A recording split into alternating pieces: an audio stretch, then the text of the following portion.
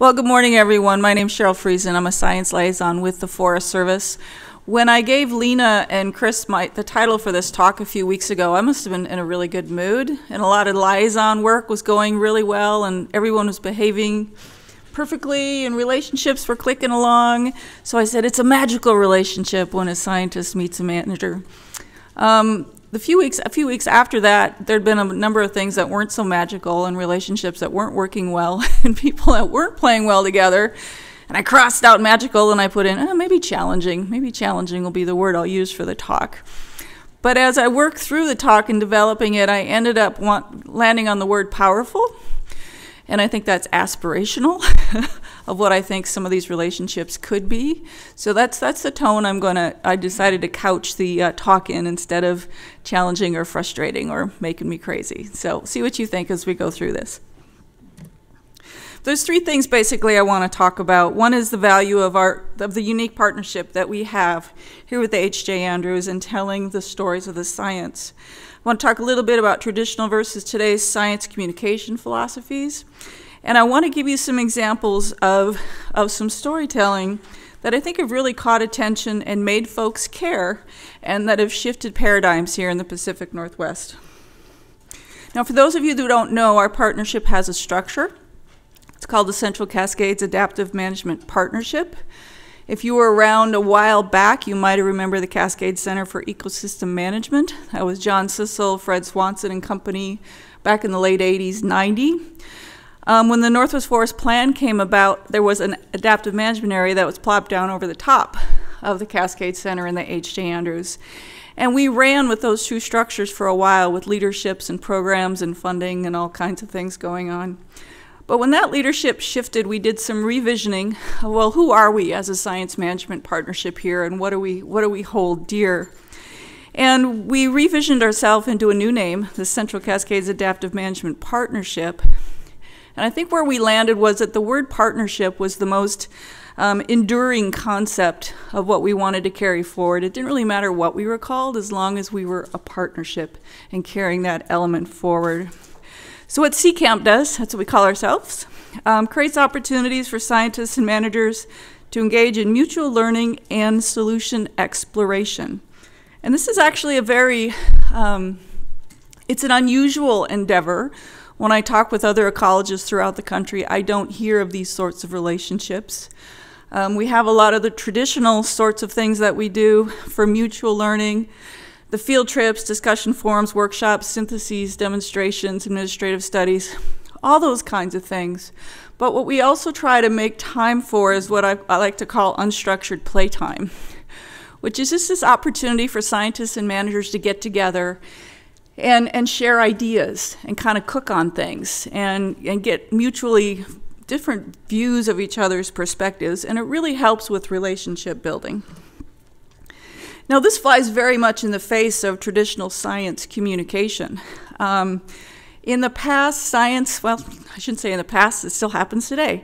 Science and the communication of it is often something that isn't considered until the end of the research project. Um, it's a one way flow of information from scientists to the public or the manager and an audience. There's even a section in the NSF 2012 um, Science Becoming a Messenger series where they talked about the idea of science ninjas, where they were encouraging scientists to, to develop this capability to stealthily force the audience to care about their science. And that's, that's not how we want to roll here. but you can see where it comes from. Most of us on the management side, the only interactions we've had in our lifetime with PhD people has been in this classroom type of setting where you have this authoritarian person standing at the front of the room, usually an old white male. Sorry, Fred. Usually an old white male who's delivering information that we're reacting to and probably stressing about and then going to be tested about. This isn't a peer to peer relationship. This is not the beginning of, of successful communication into the future. Um, there was a, a, gentleman named Gross in 1944 that talked about this communication in two different theories uh, or different models. One is a deficit model, which assumes a passive and trusting audience. It imagines the communication flowing one way from the expert to the audience. And I think what we've been trying to promote with CCAMP is this contextual model where you've got interaction in a two-way in a two-way way. Um, you're emphasizing the importance of trust. You'd be surprised at how many managers don't trust scientists and vice versa. We need to work on that. We're looking to frame the information so that it's relevant to particular audiences. And we don't want that audience to be simply an empty vessel that sits and accepts what the scientist has to say without ever questioning it. And when I first interviewed for this job, actually, Fred Swanson was on the panel, and one of the questions was So, Cheryl, how do you develop and maintain relationships in a science management partnership? and I, I don't know, uh, go out for a beer. Um, I, it just totally stumped me that one of the questions would be about relationships. Um, since then, I've seen the real value of it. We can call it breaking bread. Back in the day, we called it spit and whittle time. Um, kicking dirt on a landing, some of you probably done that. As I'm going to more collaborative events, we have this new term called swapping palm sweat. It's just meeting people, you know, just, just getting out there and having some face to face time and how important that is in relationship building. So to me, CCAMP's strength is that we're operating in that framework of a peer-to-peer partnership around science sharing. And when I take your science out, I'm usually framing it in, a, in two different ways. Um, one, I, am usually going out with the wow reallys. I'm going out with the, the, ooh, this is really cool kind of stuff that grabs people's attention. People are also very interested in, in information that debunks conventional wisdom. And when you start getting that, oh, really, wow, really, and debunking conventional wisdom, that's when the paradigms start to shift. You get enough momentum. And I'll give you some examples of some of these are stories only time could tell um, that we've been able to tell just because of our partnership. For example, um, we do a lot of water research in partnership with the H.J. Andrews and the agencies a lot of complexities coming out of water science. Um, just listening to the, a couple of the previous speakers ago, my goodness, that's I'm not sure I understood half of what she had to say. Uh, sorry, Alba. trying to get it, really, it was very complicated stuff about water in that story she was telling. When I've gone out with some of these water with some of these water science pieces of information and I'm looking for the wow reallys, I find stories like this. Um, I think this is a Gordon Grant story. It can take over five years for a snowflake on the Three Sisters to get to the McKenzie River. Well, that grabs some attention. That makes somebody think about the system and what's going on out there in a way differently than they might have previously. Another story 40% of rain that falls in the Cascades is transpired by the trees back into the atmosphere. This was uh, Steve Wondzell responding to Does water run downhill? Well, not really. it runs in a lot of different directions. But that's a, that's a piece of information, very technical science information, that tells a very compelling story and gets people to think about how does that system work.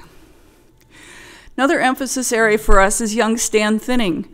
Um, got a lot of, lot of acres out there that we're thinning in different ways and trying to understand what the consequences are. Very interesting debunking of conventional wisdom here. Well, there were a couple of things. One, back in the day, we thought if we thinned all those, they would all fall down. They didn't. 20 years ago, those, those stands are still there. But the idea that flying squirrels were not happy in a, stand in a stem exclusion type of a habitat was such a piece of conventional wisdom, there was actually a cartoon about it in a forestry book.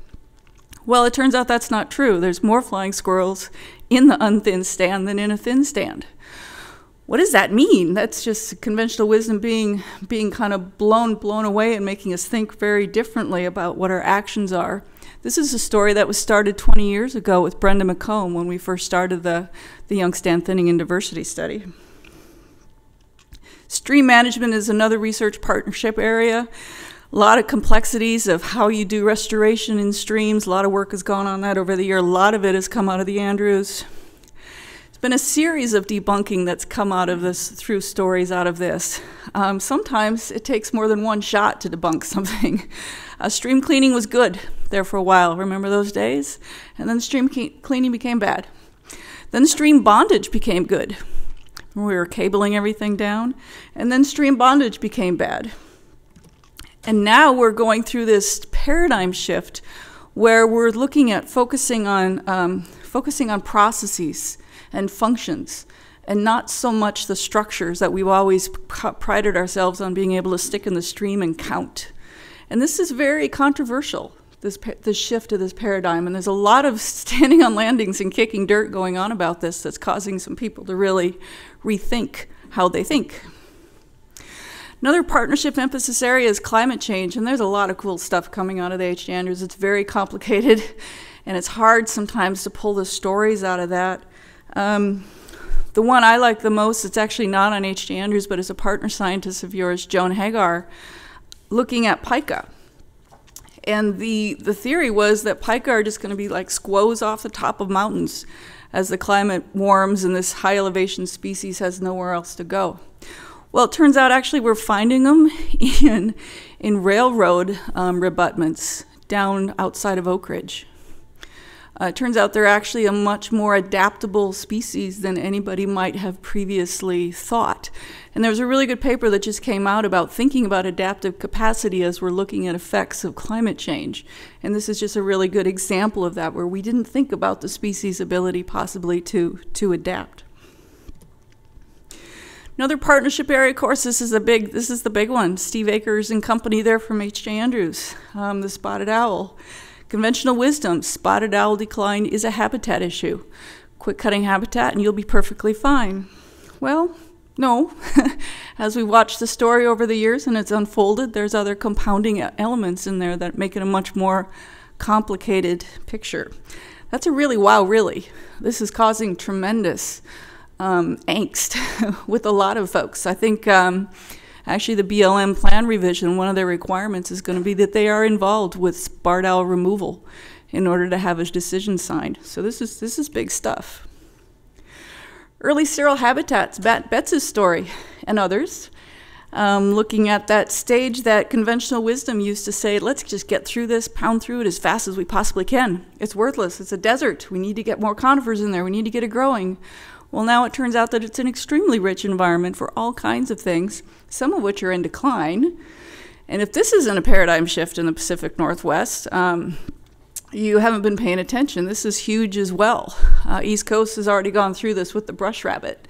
They were a couple of decades ahead of us in thinking about and experiencing this paradigm shift, and now we're stepping into it. That's a major wow, really, there. Another partnership emphasis area is the social framework. Um, some of you might have seen this, this billboard up on the freeway when, when um, Norm and Jerry were running around causing trouble.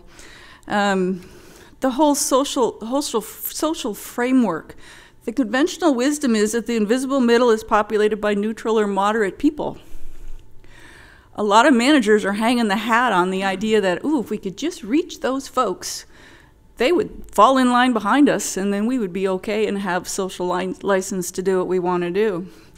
I, I think we're going to be, you know, stepping into a pretty big paradigm shift here soon when we realize through work like Michael's and Hannah's and others that it's a lot more complex in that middle than, than we're willing to give it credit for.